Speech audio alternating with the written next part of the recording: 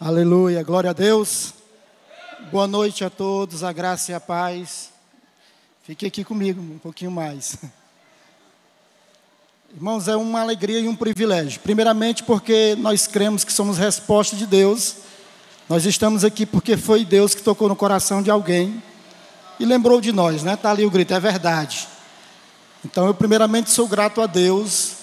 Depois sou grato ao pastor Edson, a Cátia, né? Pastor José Luiz e Adriana, que nos ligaram e nós aceitamos de pronto o convite.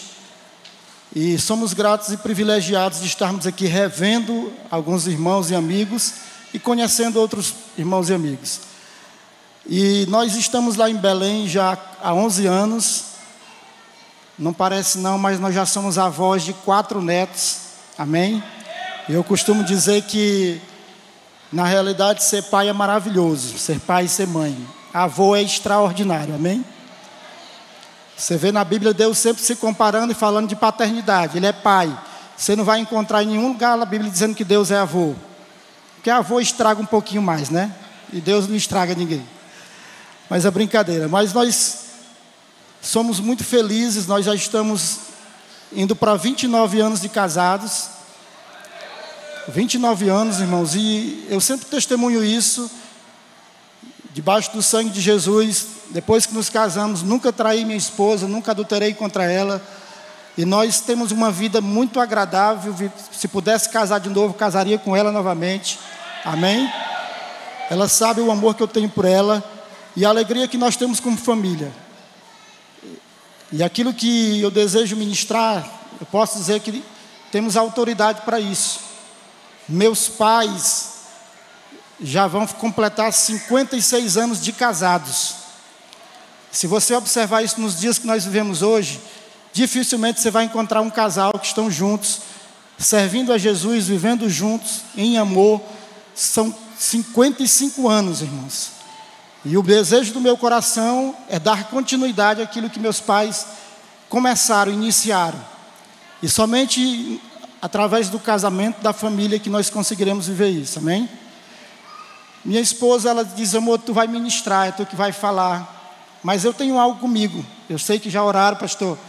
Mas aonde eu vou ministrar, eu sempre peço que os pastores tragam ela para orar por mim.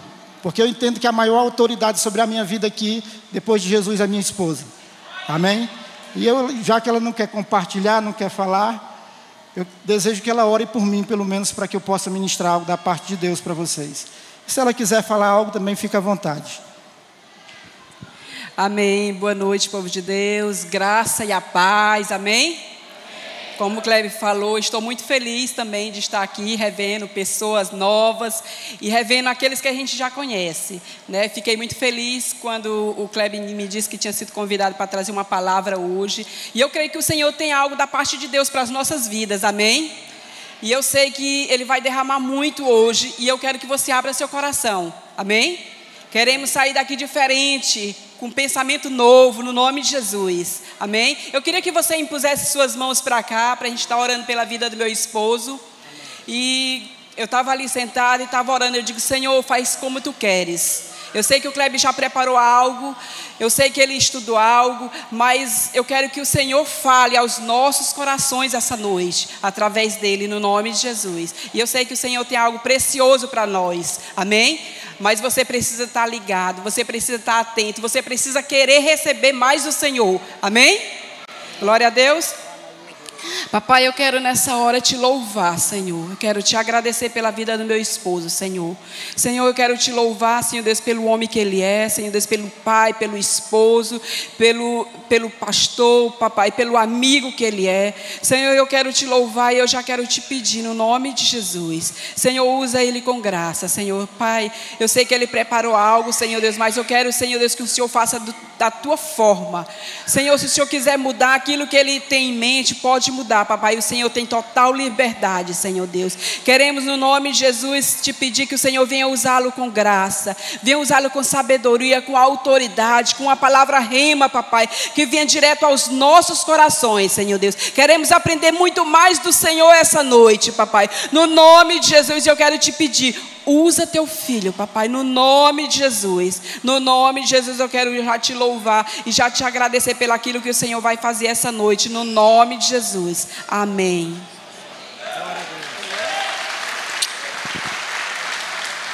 Aleluia, Glória a Deus. Eu sempre compartilho com minha esposa quando eu sou convidado para ministrar em culto para a família, para casais. E a gente brinca às vezes, né? E eu estou feliz hoje por estar aqui alegre, porque isso que está acontecendo aqui é o início de um ministério. E é diferente, irmãos, de um jantar para casais, de cultos de casais que nós vamos. E geralmente nesses jantares, nesses cultos, as pessoas que estão à frente ficam, fica do lado do seu esposo, da sua esposa, né? Pega na mão dele, olha para ele, dá um beijinho nele, diz que ama. Irmãos, às vezes a pessoa saiu zangada de casa um com o outro, é um negócio chato. Não é verdade? E eu tenho buscado em Deus assim. Primeiramente, eu quero ter autoridade para poder ministrar na vida de vocês. Irmãos, aqui tem muitos pastores. Poderia ser qualquer um desses pastores aqui. E a minha alegria de estar aqui essa noite é porque eu sei que foi o próprio Deus que me escolheu para estar essa noite. Eu me sinto privilegiado. E eu tenho buscado em Deus revelações para que eu possa trazer algo que possa contribuir com a sua vida, como família, como casal. Porque, irmãos, nós já sabemos muitas coisas. Falar que o marido tem que amar a esposa, que a esposa tem que ser submissa ao marido, todo jantar que você vai, todo culto tem isso. E eu quero compartilhar algumas coisas que o Espírito de Deus ministrou ao meu coração esses anos algo da parte dele que possa contribuir com cada um de nós como casal e casal e família. E eu me alegro porque tudo que foi feito aqui, desde a peça, as músicas, os cânticos, tem a ver com aquilo que Deus tem colocado no meu coração. E eu quero convidar você a abrir a sua Bíblia no Salmo 127, por favor.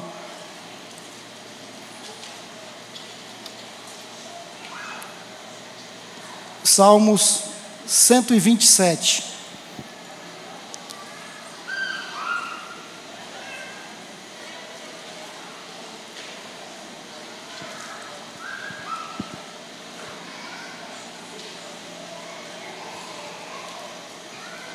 Amém? Podemos ler? A palavra de Deus diz assim: Se não for o Senhor o construtor da casa, outras traduções diz aquele que edifica a casa, né? Será inútil trabalhar na construção. Se não é o Senhor que vigia a cidade, será inútil a sentinela montar guarda. Será inútil levantar cedo e dormir tarde, trabalhando arduamente por alimento. O Senhor concede o sono àqueles a quem Ele ama os filhos são herança do Senhor, uma recompensa que Ele dá, como flechas na mão do guerreiro. São os filhos nascidos na juventude. Como é feliz o homem que tem a sua aljava cheia deles. Não será humilhado quando enfrentar seus inimigos no tribunal. Amém, irmãos? O tema dessa palavra que me disseram, desse culto, é o verdadeiro amor lança fora todo medo, ou o perfeito amor. E quando nós lemos o contexto desse versículo que encontra-se em 1 João capítulo 4, verso 18, ele fala sobre a salvação, sobre o castigo. Diz também que esse verdadeiro amor, ele aperfeiçoa a santidade. Lutero diz que em um dia, irmãos, de casado, vivendo em um dia de casado, ele viveu um tempo de mais santidade do que em um ano em um mosteiro. O casamento, irmãos, ele aperfeiçoa a santidade nas nossas vidas, o amor aperfeiçoa o nosso casamento. Então, se nos perguntarmos que verdadeiro amor é esse, nós sabemos que é Jesus. E se não for esse Jesus que edifica nossos casamentos, nós vamos viver como grande parte das famílias dos casais nos dias atuais, vivendo casamentos levados e voltados pelas emoções. Nós que somos pastores, muitas vezes atendemos casais que vêm com brigas fúteis como essas, e que na realidade dizem que não amam mais um ao outro. Você ouviu que o amor, ele é uma decisão, irmãos. E eu posso lhe provar isso de uma maneira mais clara. Hoje, a galera, a juventude diz que para se casar tem que experimentar primeiro, né, pastor? Para saber se vai gostar ou não. No tempo dos nossos avós, alguns, alguns lembram disso, irmãos, o casal nem se conhecia.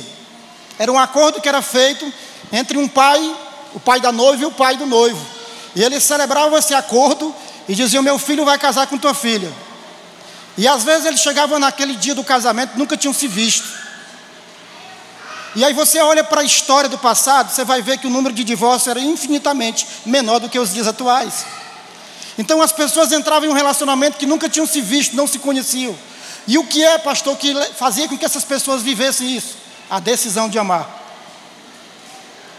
Viver por algo que entendiam que era espiritual. Porque se nós não tivermos a consciência de que a família, de que o casamento é algo totalmente espiritual, nós vamos andar por um casamento emocional por um casamento que se gosta um do outro, mas não se ama. O casamento, irmãos, é algo que é totalmente espiritual, porque não é o meu amor pela Luciane que vai fazer com que a gente viva 29 anos como temos vivido. É o amor de Jesus através da minha vida que me ensina a amá-la. Porque se for pelo meu amor, muitas vezes meu amor vai ser um amor sentimental, e às vezes eu já teria chutado o pau da barraca, talvez. Assim como a grande maioria. Então, irmãos, nós precisamos decidir viver esse amor. Mas esse amor é um amor baseado naquele que edifica a nossa casa. O apóstolo Paulo diz em 1 Coríntios, capítulo 3, que Jesus é a fundação, ele é o alicerce, ninguém pode colocar outro fundamento sobre Jesus. O apóstolo Pedro, irmãos, no capítulo 1 Pedro 2, diz que nós somos pedras vivas nessa edificação espiritual. E essa edificação espiritual que eu quero compartilhar hoje, não somente a nossa vida, mas o nosso casamento, os nossos relacionamentos. Entenda que o seu casamento ele é totalmente espiritual. Porque às vezes nós temos levado os nossos relacionamentos como relacionamentos sentimentais, emocionais. E por isso que tem fragilizado demais e tem muitas pessoas que têm se largado. Eu caso se eu não gostar, não é? Separo. A nossa mentalidade tem que ser essa. E quando o pastor Edson leu aqui, né, que é Jesus que trouxe a sua esposa, o seu esposo para você, eu compartilhei ali com o pastor Zé Luiz, nem todo mundo, né? Teve alguns que foram afoitos demais e não oraram a Deus, e Deus trouxe, e Deus não trouxe a pessoa que pegou a esposa e o esposo, talvez contra a vontade do pai, contra a vontade da mãe. E por isso viveu muitas dificuldades e ainda tem vivido. Então, a primeira coisa, irmãos, você precisa entender que é Jesus quem edifica. Esse verdadeiro amor que lança fora todo medo é o próprio Jesus nas nossas vidas. E os nossos casamentos, eles não podem ser baseados nesses medos. E esses medos vêm por muitas coisas que acontecem na nossa história de vida. Há um ano e pouco atrás, dois anos, eu estava numa devocional, lendo um livro, e o Espírito de Deus me falou algo. Antes da aliança, sempre vem arrependimento. E ele me levou à história de João Batista, né? Antes de Jesus vir, irmãos, pregar as boas novas, trazer uma nova aliança em Cristo Jesus, veio alguém pregando arrependimento. E o Espírito de Deus me disse algo mais forte. A partir de hoje, todas as vezes que você for celebrar um casamento, você vai tirar um e fazer um ato profético de remissão no altar, e você vai convidar os noivos a se arrependerem por toda a carga de traumas que trouxeram do passado e todos os amantes que vieram junto com ele no passado. E eu comecei a entender esse medo e esses traumas que o verdadeiro amor que é Jesus lança fora, irmãos. Olha para a tua vida hoje. Quantos traumas, quantos abusos, talvez quantos amantes vieram junto com o teu relacionamento e você entrou em um novo relacionamento, uma nova aliança com cargas do passado, com amantes do passado. E por isso que muitas vezes eu já fiz libertação de pessoas, irmãos, casados, que na hora que chegou nesse momento da gente dizer assim, agora você hoje é um homem casado, renuncia a amante do passado, irmãos, ficou endemoniado, travou, não conseguia. E aí eu comecei a entender o poder espiritual que é no casamento. E eu estou ministrando isso hoje para que você, para que nós possamos começar a olhar para nossas vidas, para os nossos relacionamentos, porque isso tem impedido, irmãos, o crescimento e a intimidade do nosso relacionamento. Pessoas que até hoje, quando vê alguém do passado, um amante, ele treme. Às vezes passa anos, irmãos, treme, fica inquieto. Por quê? Porque ainda tem uma aliança no passado. E ele entrou em uma nova aliança, do mesmo jeito que nós entramos com Jesus em nova, uma nova aliança, trazendo cargas e algumas coisas do passado que a gente não quer liberar. Você precisa começar a sondar e talvez, provavelmente, ir com seu líder, com alguém, para fazer isso rapidamente. Claro que hoje nós temos o pré-nupcial, que, é, que, podemos fazer isso, mas hoje também nós temos muitos casais que já chegam na igreja, que vivem juntos há muitos anos, com filhos. E não tem como você fazer um pré-nupcial com casais que já vêm. Você quer casar eles. E depois a gente vai tratando. Mas, irmãos, lembre do que eu estou lhe dizendo. Por quê, pastor? Porque quando você vê a Bíblia, o nosso Deus, Todas as vezes que ele vai citar ou falar sobre relacionamento, sobre intimidade, ele sempre cita exemplos de família. Se você pegar a Bíblia, Deus, ele escreveu carta de repúdio para o povo de Judá, para o povo de Israel. Deus trata o povo de Israel como esposa dele. Porque o casamento é algo espiritual, irmãos. E a mesma, a mesma relação que nós temos com Deus, nós precisamos trazer para nossos casamentos. Tem muitos casais, irmãos, que trazem a religiosidade e a legalidade do que tem com Deus no relacionamento para dentro dos casamentos. E por isso que não consegue viver a intimidade que Deus tem para viver. Então nós precisamos parar para começar a olhar isso e dizer, Deus, o que é que eu trouxe de carga, de traumas, de abusos, né? De medos que veio. Porque hoje eu aprendi que o verdadeiro amor, que Jesus, ele lança fora, ele tem poder para o quê? Para nos ajudar, irmãos, a lançarmos esses medos, esses traumas, para que possamos caminhar melhor, termos uma vida livre. Porque o legalista e o religioso, irmãos, ele não é livre. E o casamento é um lugar de liberdade, aleluia. Grande parte deles, dos casamentos hoje, as pessoas são traumatizadas e não têm liberdade. Já atendi casais, irmãos, e a gente sabe disso, quem foi fez aí foi, mas às vezes a gente não observa e não dá a importância que isso tem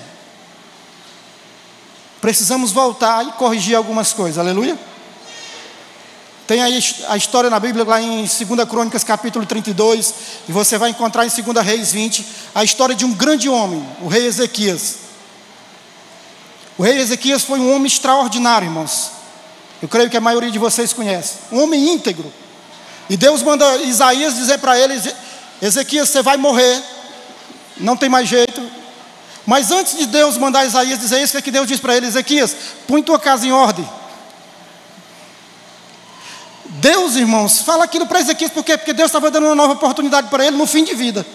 Deus está nos dando uma nova oportunidade hoje, talvez no começo para alguns ou no meio da vida de cada um de nós como casais. Põe a tua casa em ordem, em nome de Jesus. Aquele homem era íntegro, irmãos, correto. E era tão íntegro que quando Deus dá aquele decreto, ele vai orar, ele vai chorar diante de Deus, ele clama a Deus, e Deus manda Isaías voltar e dizer: Eu vou dar mais 15 anos de vida para ele, pela integridade dele, irmãos. Mas era um homem que tinha uma casa. Aí você pode dizer, pastor, mas não era casa espiritual. Era não, irmãos, porque ele era um homem íntegro, correto na vida espiritual. Eu entendo que aquela casa era a casa mesmo, porque depois você vai ver que o filho dele, Manassés, foi um dos piores reis que existiu na história de vida. Tem muitos crentes, irmãos, muitos casais que são íntegros, corretos, mas precisamos colocar a nossa casa em ordem em algumas áreas ainda. Aleluia? Primeira coisa dessa noite, entenda que não é você que edifica seu casamento. Você pode até ter escolhido a pessoa e depois se arrependeu. Aí vem com aquela historinha, pastor, a minha, noiva, minha esposa, meu esposo é a cruz que eu tenho que carregar. Tem que carregar mesmo, porque você escolheu essa cruz. Porque quando você casou, aí sim, Jesus agora escolheu ela para você, escolheu ele para você. E agora chegou o tempo de nós começarmos a nos arrepender, primeiramente, e talvez renovarmos nossa aliança com Deus e com o nosso cônjuge. Depois que fizermos esse conserto, para que possamos viver realmente essa nova aliança como família, como casal. Eu me alegro muito, irmãos, pela vida dos meus pais mas eu me alegro também pelo meu casamento. Se você me perguntar assim, pastor, o senhor nunca teve briga com a pastora Luciane, você nunca ficou triste com ela, já teve até vontade de matar? Já, vamos ver, irmão, como alguns de vocês. Brincadeira. Mas, irmãos, nós nunca tivemos uma briga, de brigar, de desrespeitar ela, dela me xingar ou xingar ela. São 29 anos, irmãos. Por quê? Porque eu entendi, e eu sempre digo para ela, amor, antes de eu te amar, eu amo a Deus. Não pense que eu não sou tentado, eu digo para ela isso, irmão. Todo homem é, toda mulher. Mas eu entendi que o fundamento da minha vida e do meu casamento, o alicerce dele é Jesus. Esse é o verdadeiro amor. Não é o amor que eu digo que eu tenho. É o amor que Jesus ama através de mim e através de cada um de nós. É Ele que é o alicerce. E Paulo diz: não tem como colocar outro fundamento sobre Ele. Não adianta você querer colocar um falso amor sobre o verdadeiro amor, porque você vai quebrar a, vida, a cara lá na frente, irmãos. Deixa Jesus edificar o teu casamento. E Ele só vai trabalhar e edificar quando você se arrepender pelas mazelas que você já fez ou tem feito. E talvez precise renovar a aliança, como é feito na EFOL. Mas você precisa pedir ao Espírito de Deus que ajude a colocar a sua casa em ordem. Glória a Deus. Colocar a sua casa em ordem, irmãos. Colocar a casa em ordem, irmãos, é ter liberdade no seu relacionamento. É deixar de ser legalista, de ser religioso demais. É ser um homem e uma mulher. Quando você pega a Bíblia, irmãos, a nudez no jardim do Éden era símbolo de intimidade. Quando você pega a Bíblia, vai ler a Bíblia, a nudez, Adão e Eva andavam peladão um junto com o outro. Adão e Eva falavam com Deus, se relacionavam com Deus, e Adão ia pelado diante de Deus. A nudez era símbolo de quê? Intimidade. Quando o homem peca, a nudez passa a ser agora símbolo de vergonha. Quando é que se consegue novamente trazer a intimidade com a nudez? Só no casamento. É ou não é? Depois que você casa, gera uma nova aliança, aí a nudez torna-se intimidade de novo. O nosso Deus é um Deus de intimidade, irmãos. É um Deus de liberdade. Seja mais livre no seu relacionamento, amém? Jesus vai edificar que, à medida que você deixar Ele edificar, mas que você se colocar à disposição. E parece contraditório, eu estou dizendo para você, se não for Jesus que edifica o teu casamento, em vão você vai trabalhar. E ao mesmo tempo, o texto diz lá: coloca a tua casa em ordem, porque Deus faz a parte dele, irmãos. Mas nós temos que fazer a nossa. Aleluia? O amor de Deus é perfeito, mas nós estamos lutando para prestar. Todos os dias, irmãos. Essa é a grande realidade. Mas a gente precisa ter o arrependimento e a sinceridade de coração para vivermos aquilo que Deus tem para nós. E uma das coisas que eu me alegro no meu relacionamento nesses 29 anos é que o amor foi sendo aperfeiçoado. Porque o texto de 1 João diz que o amor aperfeiçoa a santidade, mas o amor aperfeiçoa o nosso casamento. Ele é uma decisão, mas é um processo. Glória a Deus. É por isso que nós estamos aqui hoje, irmãos. Porque você está querendo ouvir algo que contribua para você aperfeiçoar, melhorar o seu relacionamento. E eu quero te dizer algo hoje com muito amor. Seja mais livre no seu relacionamento. Tenha mais liberdade. Amém? Você ouve no encontro ministrações, eu não vou entrar na área sexual, não vou falar sobre isso, eu tenho outras coisas para ministrar essa noite. Nós temos um pastor que é expert nessa área, quando se fala em sexualidade, mas precisamos ser livres em todas as áreas. Converse mais com sua esposa. Pergunte a ela do que é que ela gosta, como é que é. Converse, irmãos, tenha intimidade. Traga essa intimidade novamente. Aleluia. Em todas as áreas do seu casamento.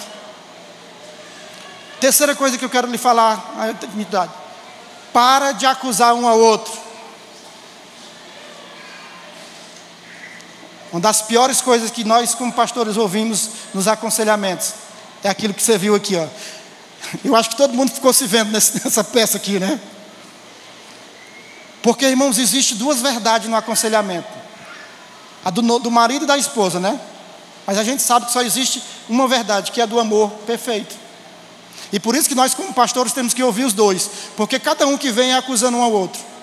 E quando tem acusação, irmãos, a gente esquece das qualidades. A gente deixa de olhar para as qualidades. E a gente começa a olhar só para os defeitos. E a gente começa a dizer: não, porque eu não amo mais. Não, você está decidindo não amar mais. Porque o amor é uma decisão. Todos os dias nós vamos decidir amar. Não somente porque temos um cônjuge, mas porque amamos primeiramente a Ele. E nós queremos agradar a Deus, mas queremos também agradar um ao outro, fazer aquilo que é melhor no casamento. Então, irmãos, que o espírito de acusação caia fora da tua vida e da tua casa. Eu sei que nós temos que melhorar em algumas coisas. Uma das coisas que nós precisamos entender é a funcionalidade do homem e da mulher para que a gente viva melhor. Isso que nós vimos aqui, irmãos, são brigas banais. Eu já atendi casais que quando chegam no gabinete, quando eu perguntei, eles chegaram à noite, meus filhos, que foi? Brigaram por quê? Olharam para o outro, disse, pastor, nem lembro mais. Era tão banal que nem lembrava mais qual o motivo da briga. E a gente fica brigando, irmãos, todos os dias, por uma toalha molhada, por uma tampa do vaso que não levantou, que não baixou.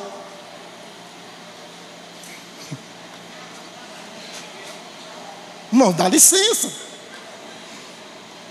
Um copo que ficou fora do lugar. Todo dia. Sabe, quando eu comecei a entender algumas coisas, irmãos, eu comecei a mudar a minha vida. E às vezes minha esposa ela zanga com algumas coisas, a atitude dos meus filhos. Se eu passo em casa, irmãos, eu vejo um copo fora, eu vou lá e pego. Não cai a mão. Se eu chego na pia e tem algumas louças sujas, eu vou lá e lavo, ajudo ela, ajudo ela. Aleluia. Aleluia, as mulheres estão felizes aí, glória a Deus. Irmãos, não cai, como a minha esposa diz, não cai aquele negócio de ajudar a mulher em algumas coisas na casa. Agora, mulheres, me escute, isso não é o papel do homem principal. Algumas vezes nós vamos fazer isso, mas sabe qual é o problema? É que no dia que o homem não faz como você quer e espera, aí você diz assim: nunca fez. Ô oh, irmão, esse nunca fez, nunca disse que me ama, mata qualquer um, irmão.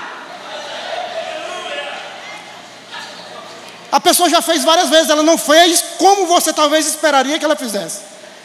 Porque algumas mulheres, depois que os homens começam a fazer, elas querem que o homem tome de conta da cozinha. Essa é a grande realidade. Mas nós precisamos começar a viver, irmãos, buscando vencer essas coisas pequenas demais, banais demais.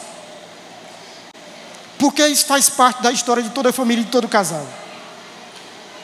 Eu decidi, irmãos, a parar de brigar por essas besteiras. E eu creio que é uma das coisas que tem contribuído com o meu relacionamento, com o meu casamento. Porque a gente... é.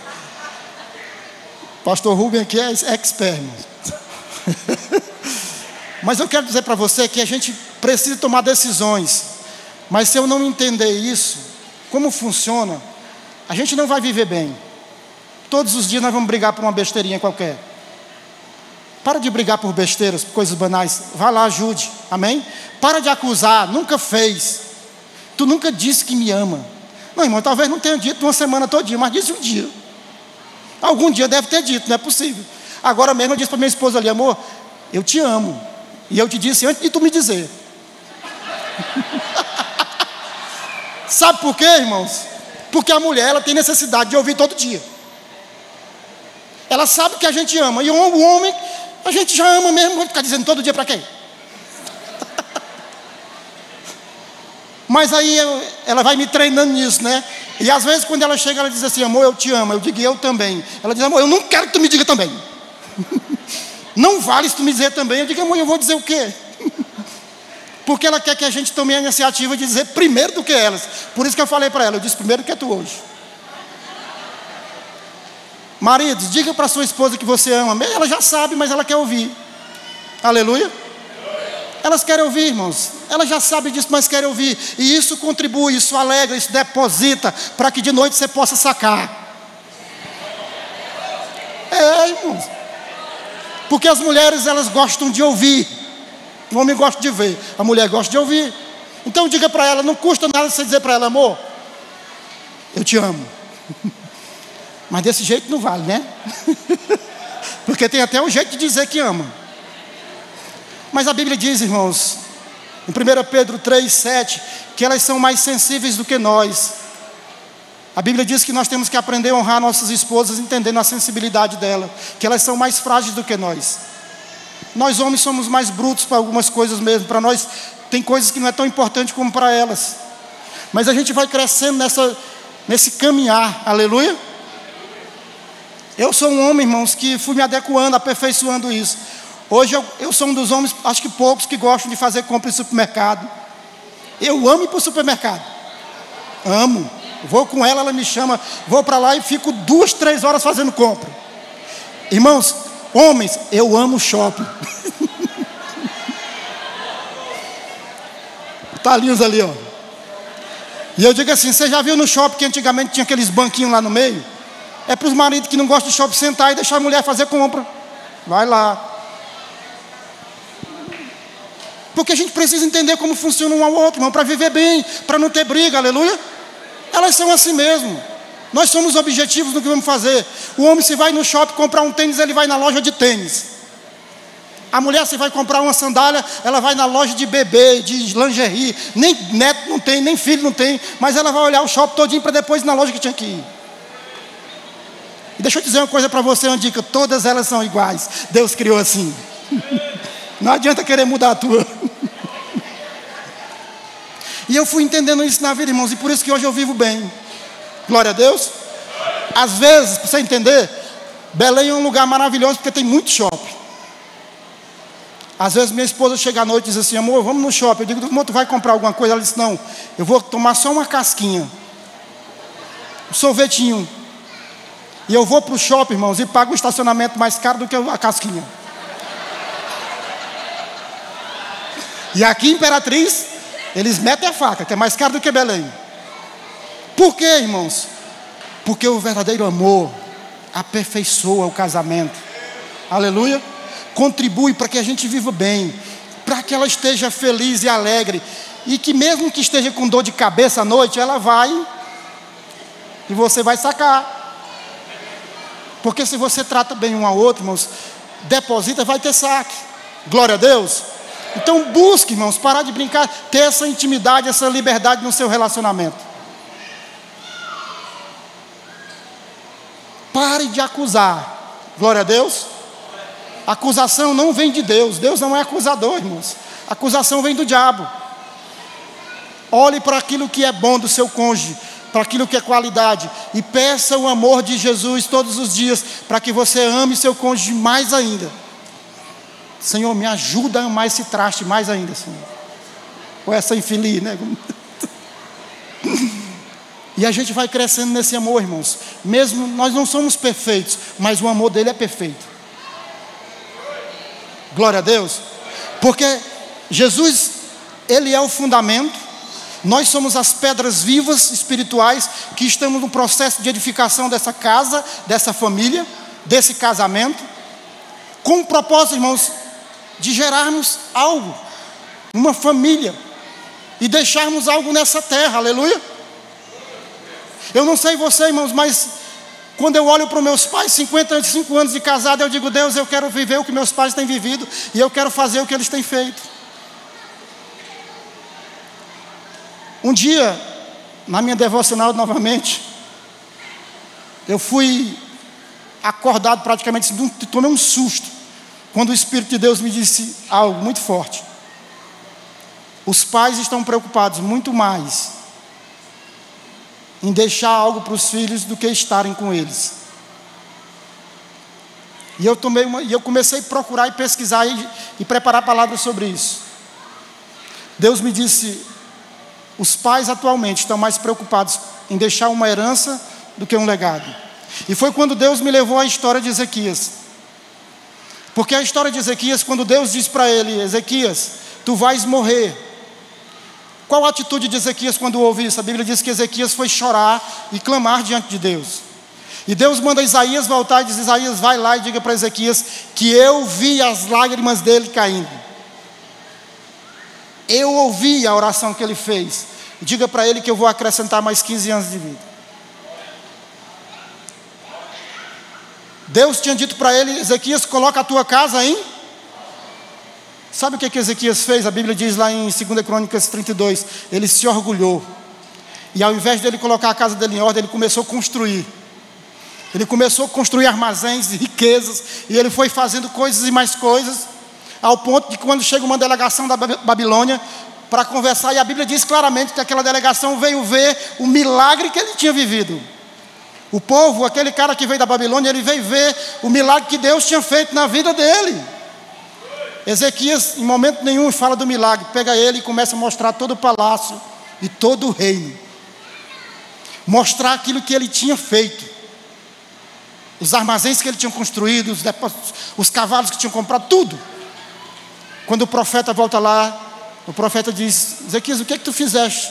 Não, eu mostrei tudo que tinha no meu palácio, tudo que tinha no meu reino, eu mostrei, não tem nada que eu não tenha mostrado.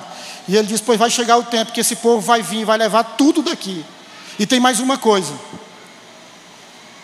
Porque você tem desobedecido, você não agiu com bondade como Deus agiu com você.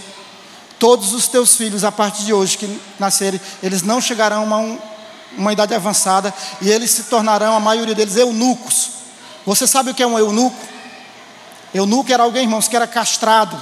E era príncipe muitas vezes, que era levado para outro reino e ele era castrado para não procriar mais. O que é que Deus estava dizendo para ele, Ezequias, a partir de hoje, por causa da tua atitude, porque não te colocou tua casa em ordem, a tua descendência agora será castrada. O que eu quero dizer hoje para você, como família, as nossas vidas, irmãos, elas não são somente para nós. Aquilo que nós construímos, não só como herança, é para entregar para outros que possam dar continuidade àquilo que nós começamos. O texto diz: Feliz é o homem que tem várias flechas na aljava. O texto diz que essas flechas são filhos. Feliz é esse homem que tem várias flechas, vários filhos. Por que, que é feliz, irmãos? Porque vai chegar o dia que ele vai conseguir atirar essas flechas. Hoje nós vivemos uma geração em que as pessoas não, não estão preocupadas em atirar as flechas, ter filhos para dar continuidade àquilo que Jesus começou, a história, o chamado que Deus começou nas nossas vidas como família. E eu quero te perguntar essa noite: você tem se preocupado com isso? Ou você tem feito como Ezequias fez? Porque quando Deus dá aquele decreto, sabe o que, é que a Bíblia diz?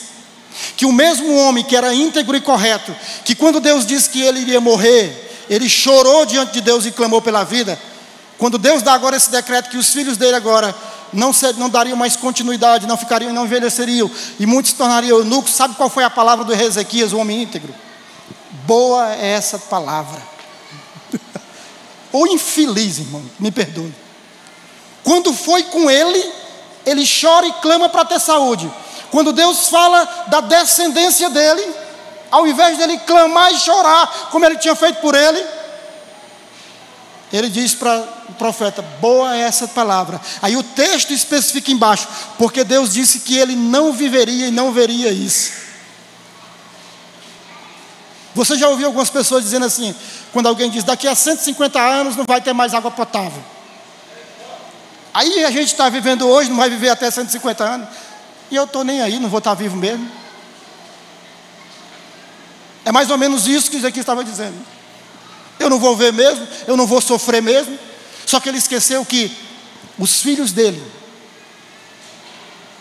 iriam sofrer por uma decisão que ele tomou. Os nossos filhos, irmãos, a nossa descendência, sofrem por nossas decisões. Então, quando eu luto pelo meu casamento, eu não estou lutando somente pela minha vida, pela minha família. Eu estou lutando por aquela menina ali, por aquele neto no colo ali. Ó. E quando eu oro, eu declaro, Senhor, Ele fala coisas maiores do que eu. Eu luto, irmãos, para ter flechas na aljava e lançar essas flechas para dar continuidade àquilo que eu tenho começado lá no Pará. Que eu tenho começado como família. Porque Deus me diz que nós estamos muito mais preocupados com a herança, com aquilo que temos que deixar, como Ezequias, com armazéns, com riquezas. E a Bíblia diz que nós, pais, homens de bem, tem que deixar herança para os filhos. Isso é bíblico. Mas muito maior do que a herança, irmãos, é o legado. Pastor, e qual é a diferença? Herança é tudo aquilo que você deixa para alguém. Legado é tudo aquilo que você deixa em alguém. Há uma diferença grande. Meu pai não vai me deixar herança, irmãos. Só tem uma casa para dividir para quatro filhos. Eu não sei nem como é que vai ser. Mas meu pai tem um grande legado, me deixa um grande legado na minha vida. Do que é constituir uma família, do que é viver como família, do que é continuar, amar uma mulher, cuidar de filhos, preocupar-se com os netos, Deixar que Jesus edifique a vida, meu casamento. Se eu sou o que sou hoje, como homem de Deus, como marido, como pai, como avô, é porque um dia eu convidei o verdadeiro amor, Jesus, para edificar a minha casa, a minha vida. E eu tenho lutado para deixar isso e dar como continuidade, porque muitos de nós não estamos preocupados, irmãos, em atirar essas flechas. A Bíblia diz: Feliz é o homem que tem filhos na aljava para poder atirar um dia. Porque se você não se preocupar com isso, a tua história vai acabar em você. Como em muitos homens da Bíblia, homens íntegros, a história acabou na descendência deles. E aquilo que nós cantamos hoje, dai-me filhos, né? Senhor, multiplica. Isso tem a ver, irmãos, com família biológica, mas com família espiritual do mesmo jeito. Então, irmãos, desejo, quem me sabe, quem me conhece, sabe o quanto eu sou apaixonado por criança. E o quanto eu bato forte contra quem alguém que não quer ter filho. É só você ver a história, irmãos. Vai para a Europa, a Europa, as pessoas começaram a pensar, não vamos ter mais filho. Tinha um filho, no máximo dois, e daqui a pouco, por quê? Porque dá muito trabalho, eu tenho que me formar na faculdade, e aí é eu, é eu, tenho que construir meus armazéns, eu tenho que fazer isso, tenho que fazer aquilo. Eu não estou preocupado com os filhos que tem que estar na aljava. Sabe o que aconteceu? Os países da Europa estão envelhecendo todo mundo e agora eles estão pagando, subsidiando para as pessoas, para as famílias terem filhos. Porque senão acaba, irmãos. A família, irmãos, é a igreja. A luta do diabo é destruir a família, destruir casamentos. Porque se ele destruir a família e o casamento, ele destrói a igreja. Ele acaba com a igreja. Acaba com o projeto de Deus nessa terra. E nós estamos alienados sem observar o que está acontecendo no mundo.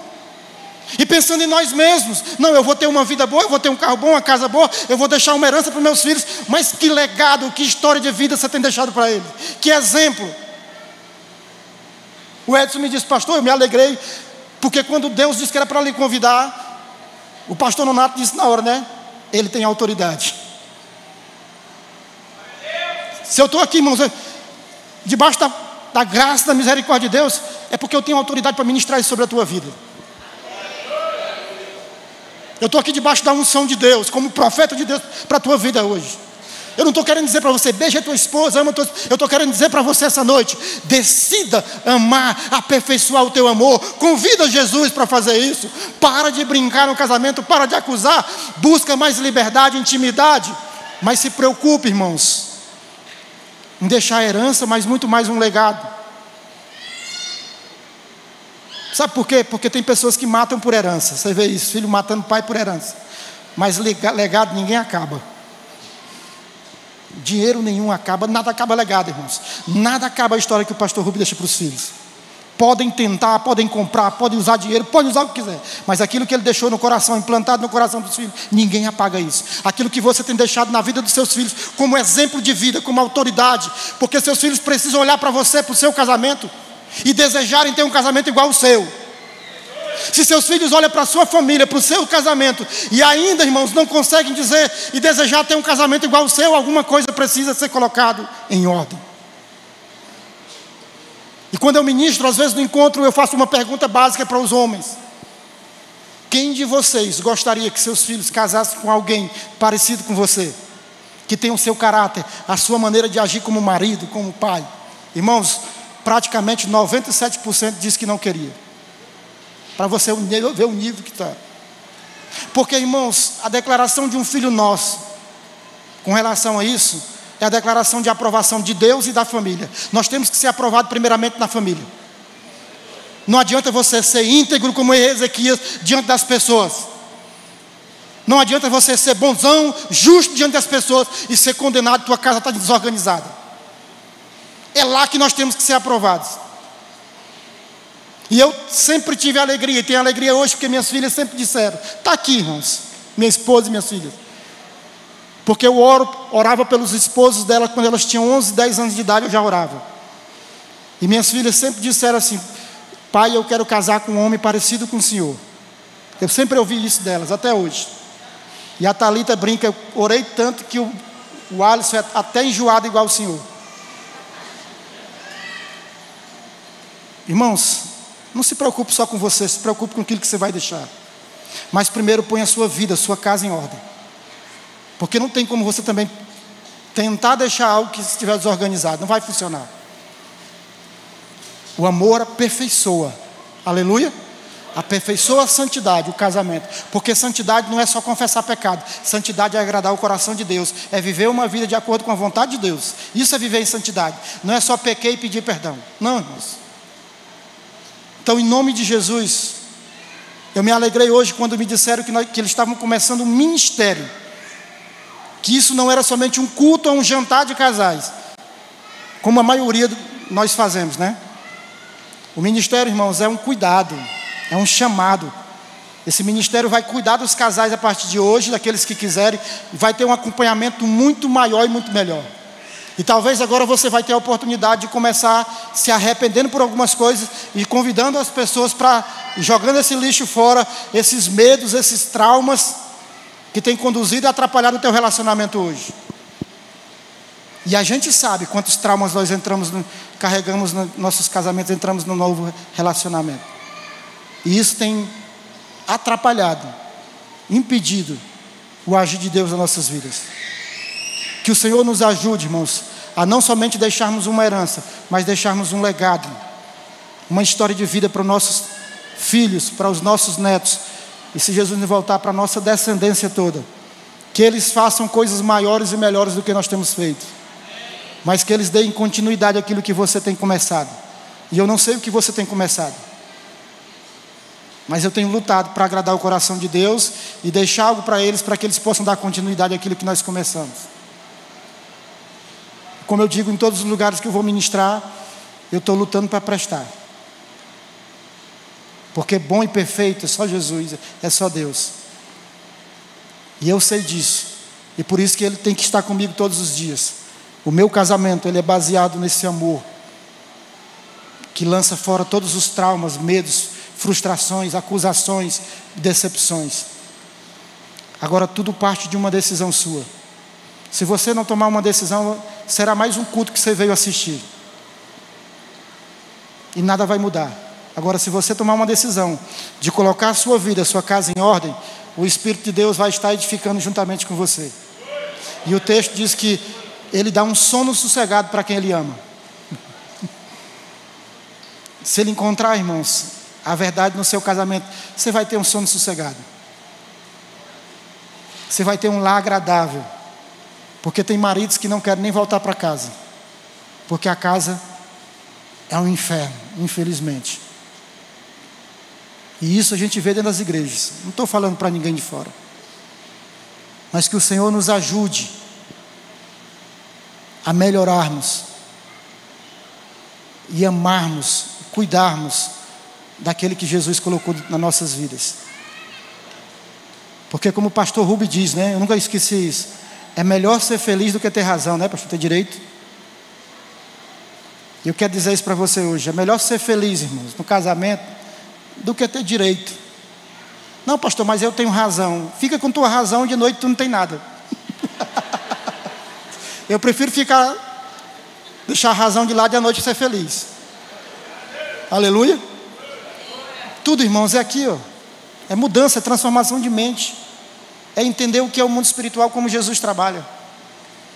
A Bíblia nos ensina: maridos amem suas mulheres, esposas sejam submissas. E que luta é isso, né? E eu tenho orado a Deus para Deus nos trazer para um nível de maior profundidade nessa questão, para que a gente possa crescer em Deus e crescer como família, como casal. Que Deus nos ajude, irmãos, em nome de Jesus. Amém? Eu espero ter contribuído com a sua vida. Eu sei que vou ouvir muitas. Você já ouviu mensagem demais. Mas se isso não for revelação na tua vida, vai ser só mais uma mensagem. Porque a revelação é aquilo que entra no meu coração e transforma algo.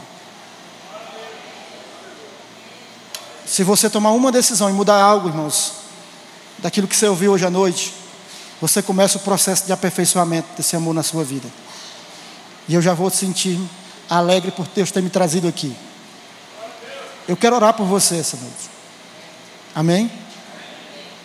Eu não vou ficar, não, beija ela. Não, não quero saber como é que está a tua vida hoje, não.